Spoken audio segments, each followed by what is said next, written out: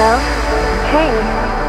Yeah, I know. I, I've been meaning to call, but there's just something I gotta, I gotta tell you that I can't. I don't know. I mean, I just, I don't know how to say this, but I've met someone else, and I, I love him. Goodbye.